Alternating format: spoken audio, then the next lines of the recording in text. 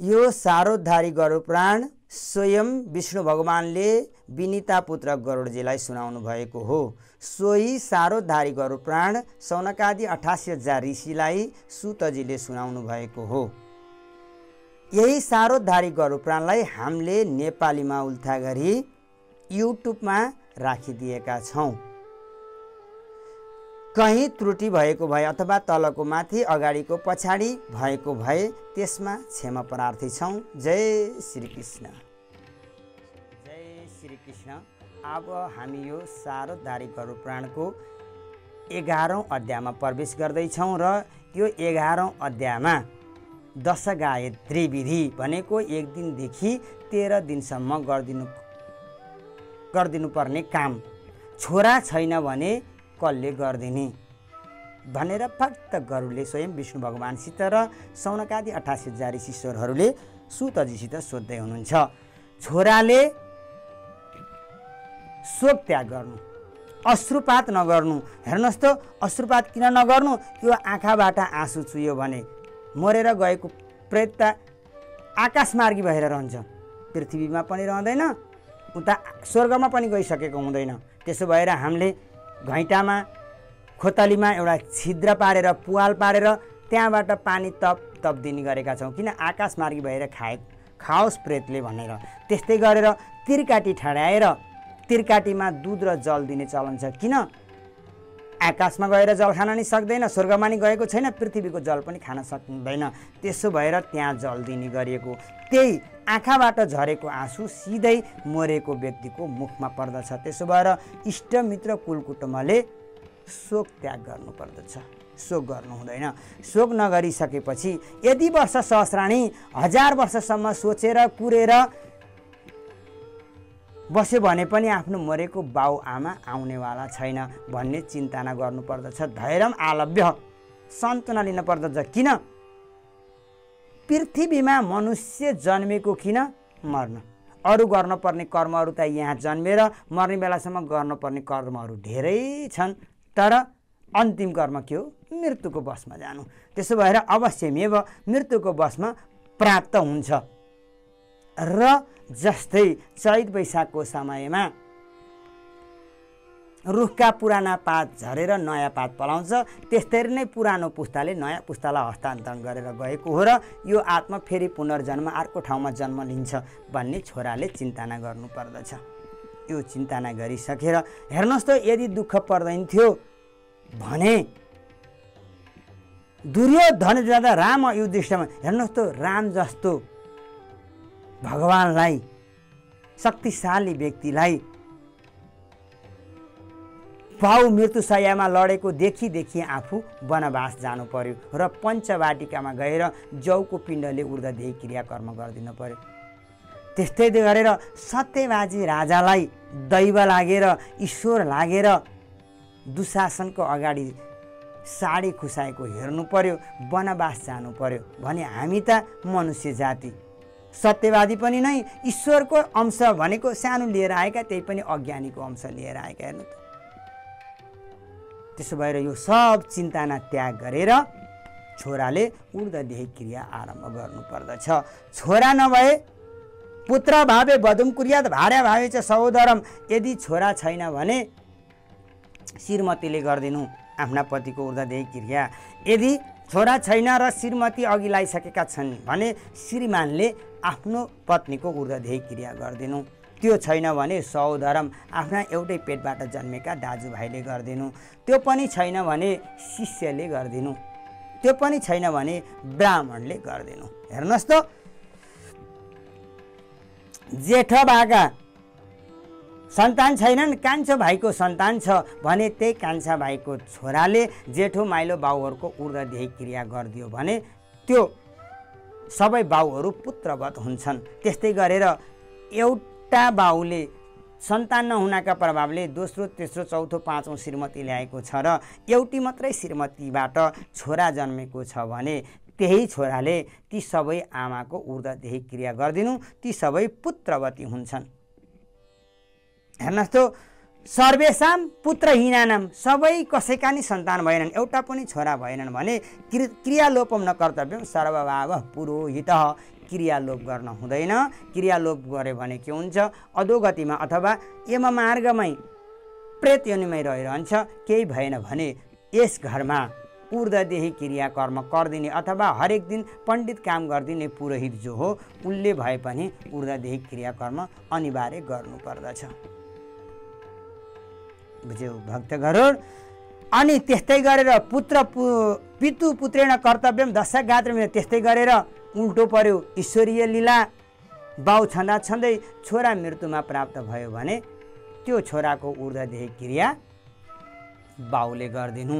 तर जेठा छोराको ऊर्धदेही क्रिया बाउले गरिदिनु हुँदैन। किन? भन्दा जेठो छोरा सबै कर्म गरिदिने भाइहरूलाई रथ बाटो लाउने पनि र पितृहरूको तारण गर्ने पनि मुख्य कर्तव्य जेठो छोराको हो। त्यसो भएर जेठो छोरा र बाउको उल्टा पाल्टा पर्यो भने जेठो छोराको ऊर्धदेही क्रिया बाउले गर्नु हुँदैन। हेर्नुहोस् त बहुबा धेरै छोरा छन् र पनि एउटा जेठा छोराले ऊर्धदेही क्रिया गरिदिए हुन्छ। पहिला पहिला कोराभित्र सबै छोराहरूलाई घुसाउने चलन थियो किन? अथवा आएर घुस्दथे किन? भन्दा अंश पाइँदैन भनेर। जुन छोराले क्रिया गर्छ त्यही छोराले मात्रै अंश पाउँछ। भन्ने चलन वर्तन भएको हुनाले सबै आएर कोराभित्र बस्थे। कलियुगमा ब्रह्मचर्यमा रहन सकिँदैन। तेह्र तेह्र दिनसम्म ब्रह्मचर्यमा राख्न सकिँदैन।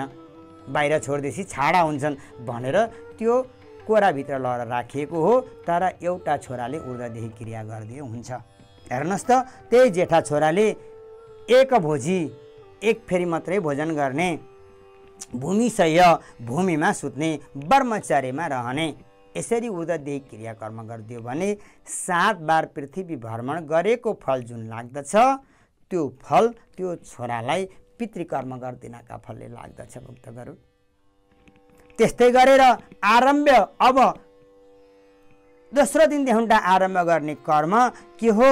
देवालयमा जानु कुपे तडागी रामे तीर्थे देवालय ज कुनै कुवामा अथवा तलाउमा अथवा तीर्थालयको नजिकै अथवा देवालयको नजिकै जानु मध्याह समयमा जानु मन्त्र लगाएर स्नान गर्नु अनि त्यहाँपछि एउटा रुखको फेदमा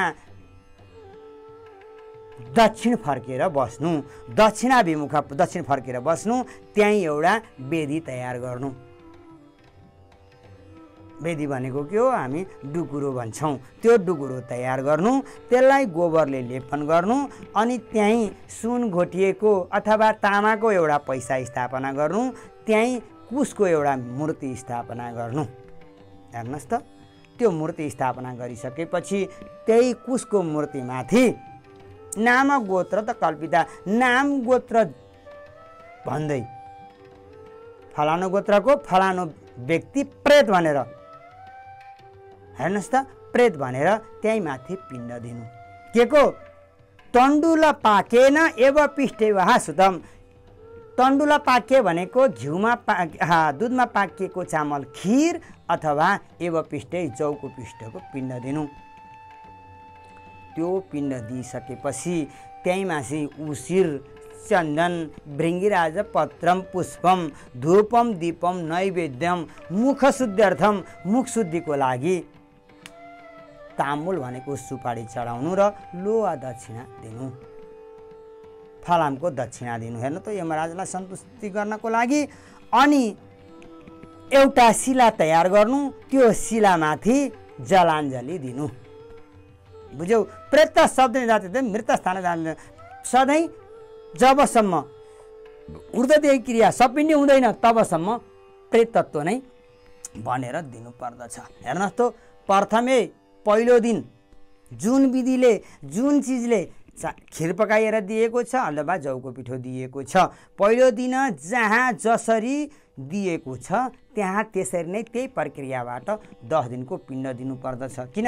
हामीले अघि नै वर्णन गरेर आएका छौँ दोस्रो नारायण पहिलो अध्यायमै यो शरीर उत्पत्ति गराउनका लागि एक दिनदेखि दस दिनसम्मको पिण्ड दिने हो भनेर। मरेको व्यक्तिको शरीर उत्पत्ति गराउनका लागि दिएको एउटै प्रक्रियाले बिज तयार गर्नु पऱ्यो नि त। शरीर तयार गर्न त नत्र अङ्गभङ्ग भएर निस्किन्छ। त्यसो भएर पहिलो दिन जुन प्रक्रियाले दिन्छ त्यही प्रक्रियाले ऊर्धदेखि क्रिया आरम्भ गरेर दिनुपर्दछ। नौ दिनको पिण्ड दिइसकेपछि सपिण्डै सकलै जनै सपिण्डीभित्रका दाजुभाइहरू। हेर्नुहोस् त सपिण्डभित्रका दाजुभाइहरूले मरेका व्यक्तिको स्वर्गको कामना गर्दै तैला भ्याङ्गम तेल लगाएर स्नान गर्नु पर्दछ स्नान गरिसकेपछि जहाँ डुकुरो पारिएको छ जुन देवालयमा डुकुरो तयार गरिएको छ हरेक दिन पिण्ड दिने गरिएको छ त्यहीँबाट दुबो र लाभा हेर्नुहोस् त लाभा र दुबो तयार गरेर छर्किँदै मरेको घरसम्म र मरेको घरको वरिपरि दुबो र लाभा छर्किनु पर्दछ। किन? दुर्बान कुलवृद्ध्यन्तम लाजा इव विकसित हाम्रो कुलको दुबाका झैँ वृद्धि होस् लाभो फुल्दा फक्रिँदा झैँ फक्रिँदै अगाडि बढ्न पाइयोस् भन्नका लागि ती सपिन्नीभित्रका दाजुभाइहरूले लाभा र धुबो त्यो मृतालयमा मरेको घरमा छर्किनु पर्दछ। अनि दस दिनको दिन बिहान उठेर गएर सधैँ दिनुपर्ने तरिकाले पिण्ड दिएर अनि डुकुरो फुटालिसकेपछि चेले फुटाल्नु भनेको छ सुनको थाली बनाएर चाँदीको हलो तयार गरेर अनि त्यसलाई जोड्नु र त्यहाँ खेतीयोग्य जमिन तयार गर्नु त्यो डुकुरोमा भनेर भनेको छ। अनि त्यहाँ पछि त्यो डुकुरो फुटाएर त्यही दस दिनको दिनमा शरीर उत्पत्ति हुन्छ। त्यो शरीर उत्पत्ति भइसकेपछि के हुन्छ? भोग जाग्दछ। त्यसै दिन खिचडीको खिर्चोको पिण्ड दिने चलन छ र खिर्चोको पिण्ड दिनु पर्दछ हेर्नुहोस् त अनि दस दिनकै दिन सपिण्डीभित्रका दाजुभाइहरूले सबैले मुण्डन गर्नुपर्दछ भनेको दारी कपाल गर्नुपर्दछ। क्रियाकर्तु जसले क्रियाकर्म गरेको छ उसले पनि पुनः मण्डलम मुण्डलम समाचार फेरि मुण्डन गर्नुपर्दछ। हेर्नुहोस् त अनि त्यही दस दिनको दिनमा त्यो दस दिनसम्म कर्म गराउने गुरुलाई मिष्टान्न भोजनहरू गराउनु पर्दछ अनि त्यहीँ प्रेतको मुक्तिको लागि हरि ध्यायत हरिको स्तुति गर्नु पर्दछ। हेर्नुहोस् त के भनेर? अनादि निधनो देवो शङ्ख चक्र गदाधर अक्षय पुण्डरी काक्ष प्रेत मोक्ष प्रदो भव हेर्नुहोस् त आदि अन्त्य र मध्ये केही पनि नभइएका। हे भगवान् शङ्ख चक्र गधा हातमा धारण गर्नुभएका। हे पुण्डरी कह हे पुण्डरी। नाम गरिएका भगवान्। अक्षय कहीँ घुनपुत्लो नलाइकन। प्रेत मोक्ष पर्दो भव।